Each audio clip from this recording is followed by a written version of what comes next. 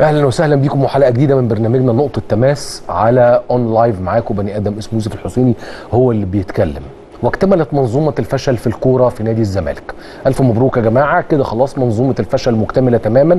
إحنا ناس ما خرجناش من الكونفدرالية في semi final ولا خرجنا من الكونفدرالية في final طبعا. إحنا خرجنا في ماتش عادي جدا بل يكاد يكون أقل من العادي. فضيحة كروية لنادي الزمالك لا تقبل أي شك ولا تأويل ولا يوجد لها أي مبررات سواء إن إحنا نادي فاشل في الكورة. أنا راجل زملكاوي وعضو نادي الزمالك وبقول لكم لو سمحتوا يا جماعة حقيقي إحنا لازم نعترف إن إحنا فشلنا في الكوره إحنا بنتكلم على إنه إحنا بنتحرك من فشل إلى فشل. إحنا بنطلع من نقرة بنقع في ضحضيرة.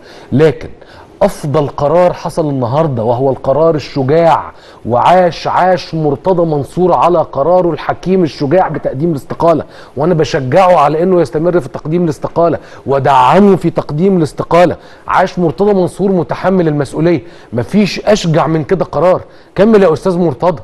أرجوك اوعى تتراجع واوعى الناس توسوس لك بأنك أنت تتراجع في هذا القرار لا يمكن. والله العظيم لا تصح. مرتضى منصور راجل ما بيرجعش في كلامه. مرتضى منصور يقول الكلمة ما بتنزلش الأرض ابدا. كمل الاستقالة عشان الناس تعرف قيمتك. أمال إيه؟ ما يقعدوا أربع خمس ست 10 15 25 سنة. نادي الزمالك من غير مرتضى منصور يعرفوا بقى ساعتها قيمة مرتضى منصور. ده أهم حاجة حصل ده على المشهد الكروي. طبعا ده بخلاف لطافة وحلاوة وحكمة وظرافة وجدعنة وشطارة وأدب صلاح. حبيبي يا صلاح والله العظيم. بس وأنا قاعد بتفرج بعد صلاح كنت بتفرج على عمرو أديب. كل دي إعلانات. عمرو أديب بيعمل إيه بالإعلانات دي كلها؟ البرنامج عمرو أديب مش عارف يتكلم يا جماعة من كتر الإعلانات. الفاصل بيضرب له بتاع 20 دقيقة. عمرو أديب لازم يمسي علينا بحاجة والله العظيم.